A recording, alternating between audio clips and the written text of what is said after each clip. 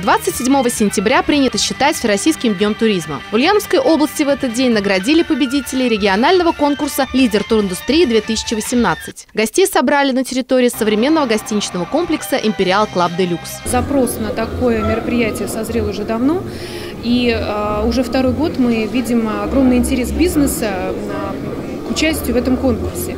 Мы э, традиционно проводим этот конкурс по двум направлениям. Мы выбираем лучшего профессионала в отрасли, а это те люди, которые непосредственно работают с туристами, и э, лучший объект э, туристской отрасли. Для участия приглашались организации и предприятия, отдельные представители туриндустрии, действующие в области, работники соответствующей профессии, стаж которых соответствует не менее трех лет. В итоге награда нашла своих героев. Я очень давно работаю вот в этой сфере, очень давно общаюсь с туристами, с экскурсантами.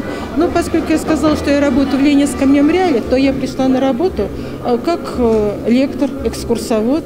Ну и так втянулась неожиданно в эту профессию, что вот уже более 40 лет я этим занимаюсь.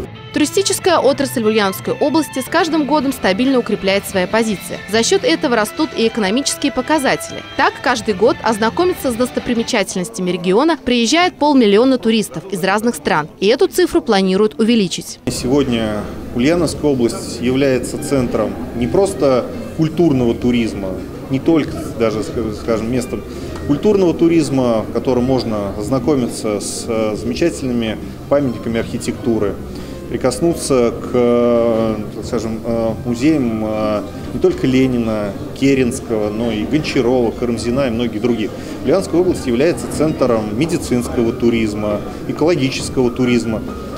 И последние годы мы активно развиваемся как центр делового туризма. На праздник пригласили не только местных ательеров и рестораторов. Поделиться опытом приехали гости из соседних республик и столицы нашей Родины – Москвы. Я могу сказать, что в целом, мне кажется, все равно индустрия не стоит на месте, но, по крайней мере, это об этом говорит то, что мы общаемся, обсуждаем определенную проблематику, и я вижу, что э, коллеги поднимают вопросы, которые э, возникают, ну, скажем так, они не, не локального, да, то есть они, э, как проблематика, они в масштабах всей страны.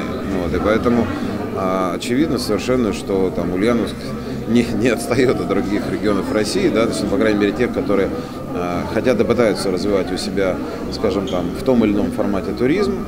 На вечере прозвучало предложение по празднованию Дня туризма в следующем году, а именно собрать всех причастных к этому празднику и отметить его с размахом в национальном парке Сингелеевские горы. Наталья Чумаченко, Александр Кудряшов. Новости Ульяновской правды.